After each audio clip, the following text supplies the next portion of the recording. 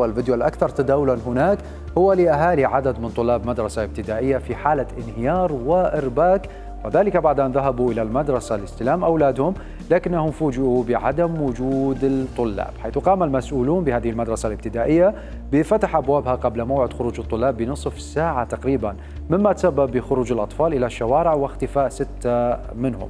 عندما وصل الأهالي لم يجدوا أطفالهم ما تسبب بحالة من الذعر والقلق لأولياء الأمور. كما دخل بعض الأهالي في شجار مع مسؤولي المدرسة وانتهى الحال بتحرير أولياء أمور الطلاب محضرا ضد المدرسة والقائمين عليها.